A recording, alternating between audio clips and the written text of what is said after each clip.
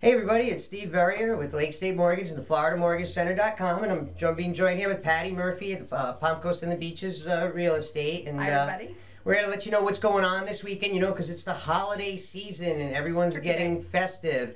Um, in fact, you kicked off your Christmas season this past weekend, uh, judging did. from your few last few posts. So, but why don't you tell us how the rest of Flagler County and the general area is getting their Christmas season started? Well, this weekend, the Christmas season is officially kicking off with the Palatka Christmas Parade at 7 p.m. on the 27th.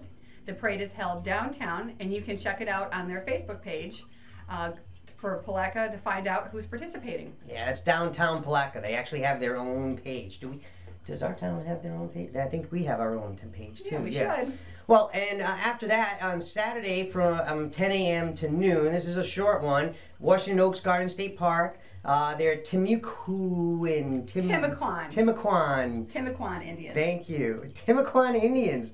Learn about the Timucuan Indians. This is I need to go to this. And their relationship to the land that they love with Park Service Specialist Joe Woodbury. Joe, thanks for all the help you do giving your time uh, to educate us all about That's great. uh, those Indians That's there. great. So- And then also, the 50th annual Fall Arts and Crafts Fest is being held at the Francis Field on uh, West Castillo Drive in St. Augustine, Saturday and Sunday, Mhm. uh, from 10 to 5. It's right by the fort. Cool. Oh, yes, it is. Uh, check out uh, art created from lace to limestone, crayons to crystal. More than 150 artists. Yay. One dollar to One get in. One dollar. That's very, very cheap. And you very can call uh, 904 824 2310 for more information. Right, right. And then right after that, zip over uh, across the bridge Lions to the uh, craft festival Oh, yeah. that's happening at the St. Augustine Amphitheater.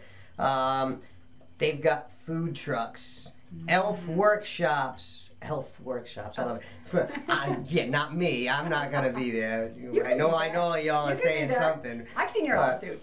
You can also watch the movie Elf with Will Ferrell. Yay! Yay, love that movie. Running from 4 to 8 p.m. There's going to be Santa visits, train rides, snowfall. mm, How are they going to do that? I I don't know. Magic.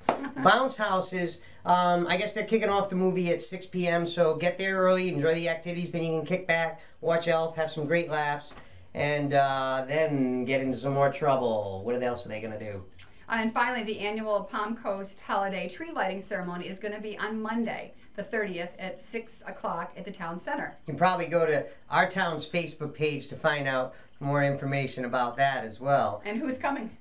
Santa! Santa Claus! That's right. It's coming on the fire, Fire truck. truck. Absolutely. Thank you. Thank you to our fire department for uh, bringing Santa. Yay. All right, because it's going to be the Rotary Club's ninth annual Fantasy Light display going on. Admission's free to this. Um, but, uh, you know, they are accepting donations of toys, Toys and and non non-perishable perishables. food. Yep. That's right. So, um, you know, that's to support the Rotary service. So we hope to see you out there enjoying yourselves this weekend. Listen, if you got any questions about what's going on or if you have questions about real estate or financing, just give us a shout. Let us Give us a know how we can help you. Take care. Bye.